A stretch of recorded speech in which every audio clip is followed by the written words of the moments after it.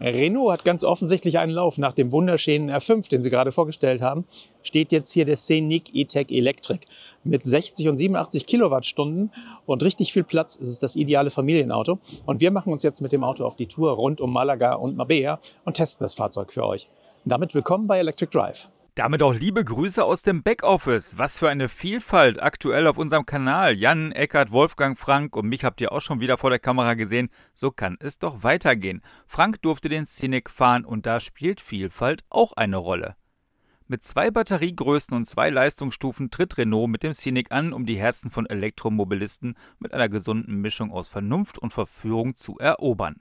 Die Plattform kennt man vom Konzernbruder Nissan. Dort haben die Japaner den Aria aufgesetzt. Mit ähnlichen Eckdaten tritt Renault nun mit dem Scenic an, doch der Scenic hat nicht nur seinen ganz eigenen Look, sondern auch seinen ganz speziellen Charme. Von Batch Engineering keine Spur. Zwei Motoren und zwei Batteriegrößen stehen zur Auswahl. Die kleinere Batterie fasst 60 Kilowattstunden und wird in Verbindung mit dem 125 kW, also 170 PS starken Motor angeboten. Die größere Variante kombiniert satte 87 Kilowattstunden mit 160 Kilowatt, also 218 PS. Aus den Leistungen ergeben sich aufgerundet die Typenbezeichnungen 170 bzw. 220. Das große Paket soll den Scenic zu bis zu 625 Kilometer Reichweite beflügeln. Wir sind gespannt. Die Teststrecke führt uns und den Cinec mit 87 Kilowattstunden über rund 130 Kilometer durch die im März wunderschöne Berglandschaft, die sich von Malaga aus erschließt. Das bedeutet zugleich ordentlich Leistungsaufnahme beim Bergauffahren und hoffentlich gute Rekuperation bergab. Bis wir dazu ein Fazit ziehen können, folgen wir erst einmal der Autobahn und dann wundervoll kurvigen Landstraßen. Die Lenkung ist leichtgängig und direkt, selbst in engen Biegungen muss man selten umgreifen. Das Fahrwerk ist verbindlich genug, um auch mit forcierter Gangart der Straßenführung zu folgen, andererseits entspannt genug abgestimmt, um die Passagiere komfortabel zu transportieren. Mit einem Taster am Lenkrad kann man zwischen den Fahrmodi wechseln. Neben Eco, Komfort und Sport gibt es eine individuell abstimmbare Variante. Uns hat Komfort am besten gefallen. Die Sportabstimmung bietet kaum spürbare Vorteile und im Eco-Modus fühlt man sich leicht gegängelt. Die Fahrgeräusche sind bis hinauf auf Autobahntempo ausgesprochen leise. Meist vernimmt man mehr die Auswirkung unterschiedlichen Asphalts, als dass man Windgeräusche wahrnehmen würde. Für die Routenführung ist das verbaute Android Automotive System von Google verantwortlich, das seinen Job sehr gut, wenn auch mit einer etwas nöligen Stimme verrichtet. Die Echtzeitdaten für Staus sind exzellent und die Navigation per Spracheingabe funktioniert hervorragend.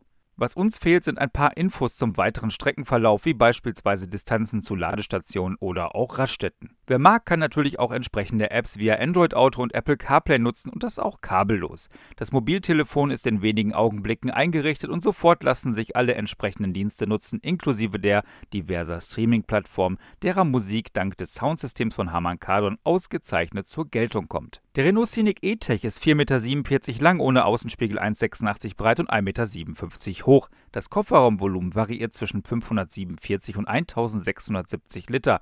Die maximale Anhängelast wird mit 1,1 Tonnen angegeben, die Stütz- und maximale dynamische Dachlast mit jeweils 80 Kilogramm und die maximale Zuladung mit 514 Kilogramm. Binnen 7,9 Sekunden geht es auf Tempo 100 km/h und die Höchstgeschwindigkeit wird bei 170 km/h begrenzt. Der WLTP-Verbrauch wird mit 16,3 bis 16,8 Kilowattstunden auf 100 Kilometer angegeben. Doch Frank wäre nicht unser Captain Slow, wenn er das nicht unterbieten könnte. Am Ende unserer Tour stehen trotz des ganzen Auf und Ab beeindruckende 15,5 Kilowattstunden auf 100 Kilometer auf dem Bordcomputer. Nicht viel für ein Auto dieser Größe. Das genügt uns aber nicht und wir bewegen den Scenic ein weiteres Mal. Dieses Mal geht es an der Küste entlang im kommoden Tempo bis Mabea und zurück. Auf der tempolimitierten Straße gleiten wir mit etwa 80 Sachen dahin und schwimmen so ganz entspannt mit dem Verkehr. Hektische Beschleunigung braucht es hier nicht und auch die wenigen Höhenmeter schlagen kaum zu Buche. Am Ende unserer Probefahrt, also genau in der Hotelvorfahrt, vermeldet der Bordcomputer dann sagenhafte 13,3 Kilowattstunden auf 100 Kilometer. Das ergebe rein rechnerisch eine Reichweite von über 650 Kilometer. So geht Elektromobilität. Renault setzt auf ein 400-Volt-System. Die große Batterie verfügt über 192 Zellen in 12 Modulen und bringt ein Eigengewicht von 515 Kilogramm mit sich. Angetrieben wird beim Renault Scenic E-Tech Electric 220 Long Range die Vorderachse. Die Lithium-Ionen-Batterie ist flüssigkeitsgekühlt. Der 160 kW starke Antrieb verfügt über einen Drehmoment von 300 Newtonmeter. Der fremderregte Synchron-Elektromotor sitzt zusammen mit Inverter und Co. unter der vorderen Haube. Unter der Karosserie befindet sich ansonsten bewährte Technik. McPherson-Federbeine an der Vorderachse, Mehrlenker Hinterachse und die geschwindigkeitsabhängige Servolenkung sorgt zusammen mit einem Wendekreis von knapp 11 Metern für leichtes Spiel auch in der Stadt.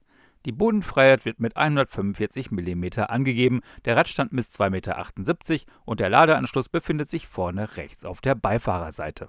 Laden konnten wir im Rahmen der Fahrvorstellung nicht, aber Renault gibt einen Spitzenwert für DC-Laden mit 150 Kilowatt an. Bei der kleinsten Batterie sind es 130 Kilowatt, was in einer Ladezeit von unter 40 Minuten münden soll. Ein AC kann der Franzose mit 22 Kilowatt Strom fassen, was ihn zum, im positivsten Sinne, Schluckspecht an der Wallbox macht. Mit dem Scenic hat Renault ein absolut vielversprechendes Fahrzeug, das Familienväter wie Langstreckenreisende gleichermaßen glücklich machen dürfte. Viele Details, wie beispielsweise die Mittelarmlehne mit den genialen Halterungen für Smartphones und Tablets, zeigt, dass man sich hier viele Gedanken um die Nutzbarkeit gemacht hat. Preislich beginnt der Einstieg bei 41.400 Euro mit dem kleinen Motor und der 60 Kilowattstunden Batterie.